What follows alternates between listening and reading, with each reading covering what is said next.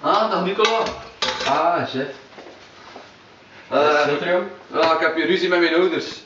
Ze, ze, mijn pa zit heel de tijd te zanneken en mijn ma zegt dat ik een lief nodig heb. Ja, eh, het is niet omdat René al een tijdje met Emiel is dat ik ook een vriendin no- nodig heb. En trouwens, Emiel, goede gast, maar je zou niet merken dat hij dood is. En eh, ja, mijn pa, die zou beter zijn hoofd bij zijn verbouwingen houden. Hij wil een nieuw waskot bouwen, maar hij heeft nog nooit iets van Lego in elkaar gezet, dus ik denk niet dat het eh, veel gaat worden. Hij moet niet denken dat ik ga helpen. Ik hou het echt niet meer vol, ik zou willen weglopen. Anders, hier is er altijd plaats, je bent altijd welkom. Oh, bedankt, bedankt. Ik zal er eens over nadenken. Oké?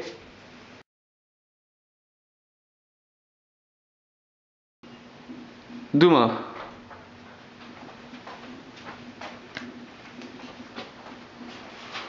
Waar, eh, waar is juist?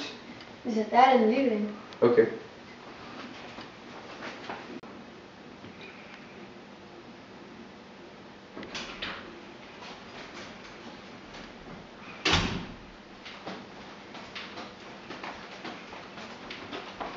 Ah, Gust jongen. Eh. ah. Vroeger was Gust een actieve man. Maar door een bloedklonter in zijn hersenen zijn zijn benen zo slap als een vod en spreken zit er ook niet meer in. Veel kan hij niet meer doen, daarom breng ik hem iedere vrijdag een bezoek. Dan breng ik mijn trompet mee en dan gaan we naar de vijver. Dan vraagt hij me om een stukje te spelen.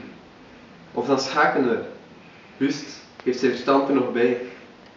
Ik probeer altijd te winnen, maar het lukt me nooit. De slimme man. Iedere vrijdag geef ik hem een bezoekje. Want wat moet hij anders doen? Mm. Gust, ik ben door hè. Mm.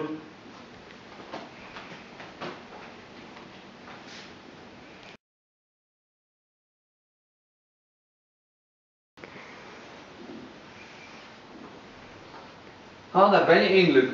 Is er iets met Gust? Ah, hij is er slecht aan toe. Ik ga naar hem toe. Nee, je kan niet zomaar binnenstormen. Laat de dokter zijn werk doen. Ik wel, hij is mijn vriend. De mens zwicht, maar het is God die beschikt. Wil je nu zeggen dat God wil dat Gust doodgaat? We weten niet wat God wil. Gods wegen zijn ondoorgrondelijk. In de Bijbel staat dat God wil. Eh, de Bijbel is geschreven door mensen. We kunnen alleen maar raden wat God wil. Hoe weten we dan wat we moeten raden?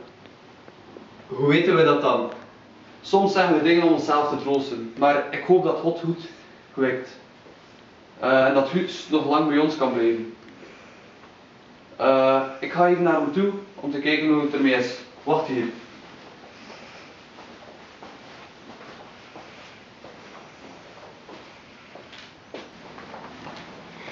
Remy, we moeten sterk zijn. Nee. Zo sterk als we kunnen. God moet hem helpen.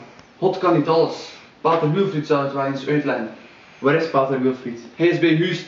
Hij is hem aan het salven, zodat hij zeker in de hemel komt. Gust heeft zijn zalf nodig. Gust komt vanzelf in de hemel. Kom maar mee.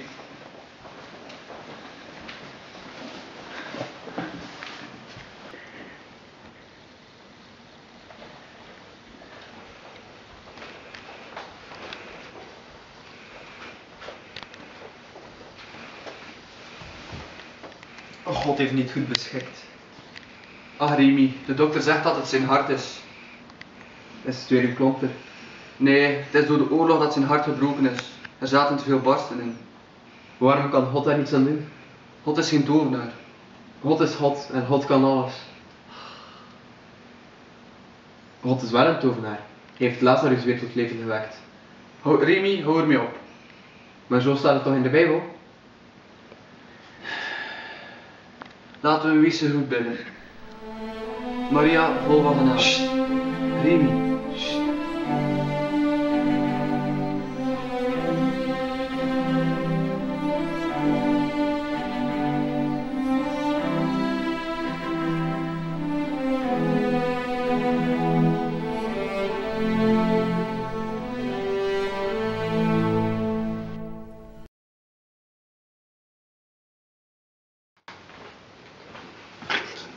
Ah, een nieuwe?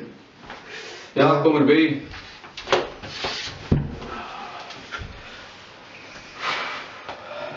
En, wat is jouw verhaal?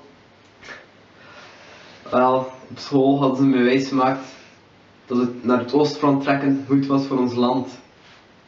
Dat als we de Russen aankomen, we de wereld aankomen. Stomme ik natuurlijk, het geloven, naar het oostfront getrokken. God, het was daar een hel. Echt niet wat ze hadden beloofd. Het was ijskoud. Ze zaten constant onder de modder. We hadden geluk als we twee uur konden slapen, iedere week. De Russen, ze waren veel sterker dan ons. Wij arme Vlaamse jongens lagen in loopgraven van, oh god, 10 centimeter. We hadden beter kunnen rechtstaan. En als we recht stonden, waren we zeker dood. We hadden geen kans. Voor iedere Rus die we doodschoten, kwam er tien in de plaats. Ik leefde op hoop. Op hoop dat het ooit gedaan zou zijn. En het begint toch. Het einde was het alleen leegte. Alles leegte. Gelukkig had ik mijn sax nog. Die hebben ze nu afgepakt. Ik weet niet hoe lang ik hier ga volhouden. Niet lang al sinds. Ik ken het wel. Later vroegen ze mij of ik stuurman wilde worden. Leiding geven aan een groepje Vlaamse jongeren. Tuurlijk wou ik dat. Misschien kon ik ze beschermen. Kon ik ze iets beters bieden dan wat ik had meegemaakt. De jongens die ik kreeg waren pff, 15 jaar. Veel te jong. Hadden twee dagen training gehad, maximum. Had waarschijnlijk nog nooit een geweer vastgehouden. Ik weet nog, toen we naar het front wandelden, was het echt, we waren de enigste die naar het front wandelden. Veel mensen die passeerden van het front, dood in hun ogen, leegte in hun gezicht. Bloed op hun kleren, aan hun handen. Het was alsof ze van de hel kwamen. En wij liepen er recht naartoe. Begonnen die jonge knapen plots te zingen. Duitse marcheerliederen. Waar ze dat hadden geleerd, wist ik niet. Allemaal mooi in de maat. En ik liep daar, beschaamd. Uiteindelijk was er één bepaalde veldslag waar een kolonel me terugriep. Ik en drie jongens gingen naar het veldhospitaal. Man, daar zag je pas hoe de oorlog echt was. Duizenden bedden, mensen, kernen van de pijn, geen benen, geen armen, een buik open. Ik vroeg aan een van de verpleegsters waarom ze ze geen verdoving gaven. Morfine was enkel voor de levenden, was haar antwoord. Ik kwam bij een Fransman. Hij was dood aan het gaan en hij wist het. Maar ik moest iets doen, toch? Dus ik haalde mijn sax uit en ik begon te spelen. À la claire de la lune. Uiteindelijk ging ik dood. Kon er niets aan doen. Toen had ik het gehad. Ik, ik vluchtte. Ik heb door mijn eigen been geschoten. Ik ben gevlucht. Samen met drie jongens. Slechts één ervan heeft het overleefd. En ik verder vluchtte. Uiteindelijk heb ik mezelf aangegeven, hier in België. Miste mijn moeder. Wat moest ik anders doen? Gisteravond brachten ze me naar hier. Nu zit ik hier. Ze hebben zelfs mijn sax afgepakt. Och, we hebben allemaal ons eigen verhaal. De oorlog. Sterkte. Dank.